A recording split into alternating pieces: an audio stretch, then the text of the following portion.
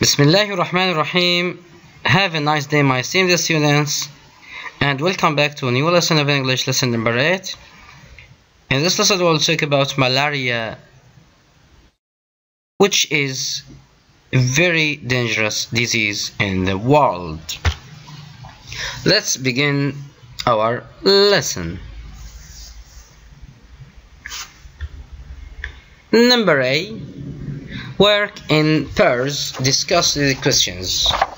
Where do you find mosquitoes? What places what places do they like? Number two. What time of the day and year do they appear? Three. What are the best ways to avoid mosquito bites? Make a list. Here we have some possible answers. Number one, where do you find mosquitoes? And what places do they like?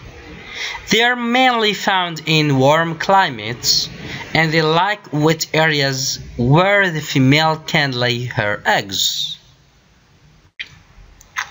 Number two, what time of the day and year do they appear? Students can rely on their local knowledge to answer the questions. In many parts of the world, mosquitoes appear in greater numbers during wet times of the year. They are also more likely to come out in the evening more than in the day or during the day. Number three, what are the best ways to avoid mosquito bites? Make a list. Some of the suggestions students may come up with are here wear protective clothing covering the arms and legs use mosquito repellent cream or spray put mosquito nets over the bed at night use special burners which produce smoke to repel mosquitoes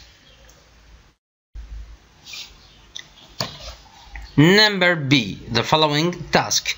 Complete the table with the missing words. We have the first column verbs, in the second one noun, and then adjectives. So here we have resist and bite under the title of verbs. Here we don't have anything and the adjectives we have curable and incurable sorry and incurable infectious. So we can see this table. Verb under the title of verb or verbs we have resist we have cure bite and infect. The noun of resist is resistance. And the noun from cure is cure bite, bite, infect, infection. What about the adjectives? Resist, resistance, resistant. Resistant is the adjective of resistance. Cure, cure, we have curable or incurable. Bite, bite as a noun also, and we don't have an adjective for the word, the word bite infect, infection, and as an adjective we can form this word, I mean infectious. You can see them and write them down, my students. Let's do practice number C. Practice number C says, work in pairs, look at the symptoms in the box, explain their meaning a chill, a fever, sweating, coma, and delirium. We have to explain the previous symptoms. Number one, a chill is a cold that causes shivering. A cold that causes shivering.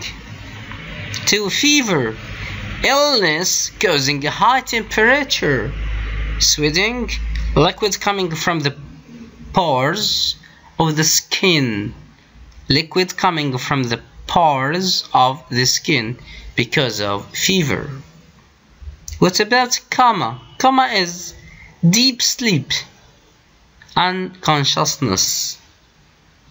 So if you have a coma, you are unconscious. What about delirium? Delirium means temporary madness caused by illness like fever and so on. Practice number D. Work in pairs and write 5 questions about the malaria in your notebooks. We can write the following questions. Number 1. What's malaria? What is this disease? 2. Where does the disease occur? 3. What are the main symptoms of it? 4. How many people are infected with malaria? And 5. How many forms of this disease? I mean malaria. These are 5 answers. Then, practice number E. Read the text. Look for answers to your questions in exercise number D. So, first of all, we want to read the text. So, please listen to me carefully. Malaria. Malaria is an infection disease of birds, monkeys, and humans. It's caused by organisms called protozoan, protozoans, which are transmitted by the bite of mosquitoes. The disease occurs in most tropical and subtropical areas of the world. It also occurs in some temperate regions. The main symptoms of the disease are chills, fever, and sweating. Control of the disease has been based on the use of insecticides. Since 1950, the disease has been eliminated from almost all of the all of Europe and from large areas of Central and South Amer America. It still remains a problem in many parts of Africa and Southeast Asia. Each year about 300 to 500 million people are infected with malaria. Some 1.5 to 2.7 million of these cases are fatal. In humans, there are four forms of malaria, each caused by different each one caused by a different parasite. Most deaths are caused by a type of malaria known as jungle fever. The organism in this form of the disease, Plasmodium falciparum, often block the blood vessels. This produces coma and delirium in the patient and finally death. Since 1638, malaria has been treated with quinine, which is an extract from the bark of the cinchona tree. Quinine slows down the growth of the protozoans in the bloodstream. It's also rather toxic in 1930, German chemists produced a drug called atabrine, which is more effective than quinine and less toxic. A new drug called chloroquine was produced in 1935. It could cure jungle fever completely and was more effective than quinine or atabrine in suppressing the other forms of malaria. It was also less toxic than other drugs and needed to be taken in less frequent doses. In recent years, there have been setbacks in the fight against malaria. Plasmodium falciparum has become more resistant to chloroquine and other drugs. In addition, some mosquitoes have developed resistance to insecticides such as DDT. As a result, malaria is starting to spread again in some areas of the world such as Asia and Central America. Now, after reading this text, we can come back to the questions. So, what is malaria? Where does the disease occur? What are the main symptoms of it? And how many people are infected with malaria? How many forms of malaria? What's malaria?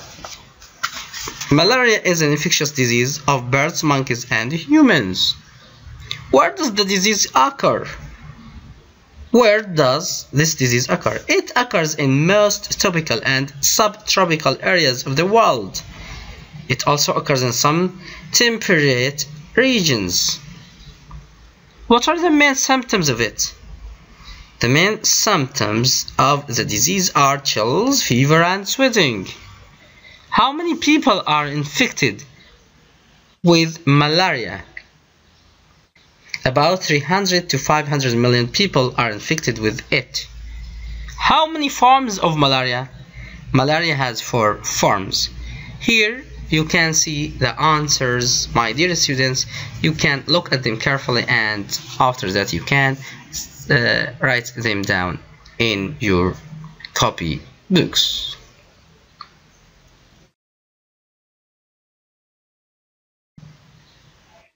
Now let's do some exercise in our workbook, page number 50. Read again the text in exercise number E on course book on page number 85. Match the words in bold in the text to the definitions below. Number 1. Amounts of a drug or medicine that should be taken to working well and having the intended result.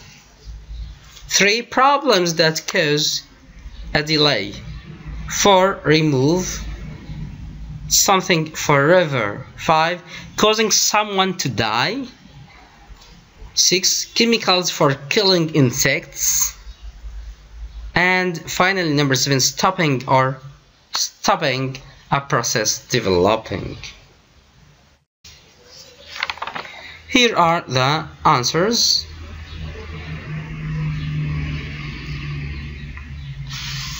Number one, amounts of a drug or medicine that should be taken means doses. Working well and having the intended result, effective. Problems that cause a delay, setbacks.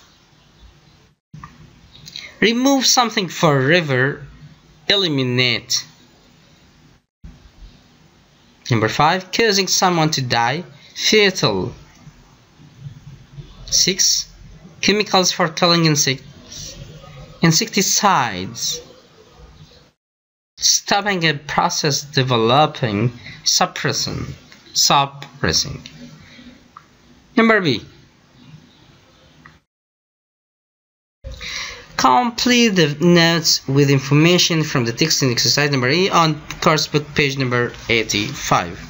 Here we have malaria caused by, transmitted by, since 1950, eliminated from so-and-so, still a problem in so-and-so. Each year, people infected with malaria deaths.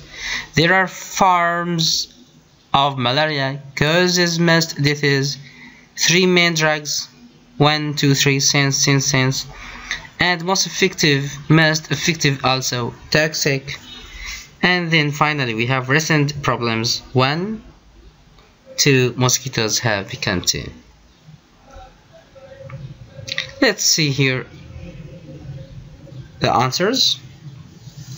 Malaria caused by caused by protozoans.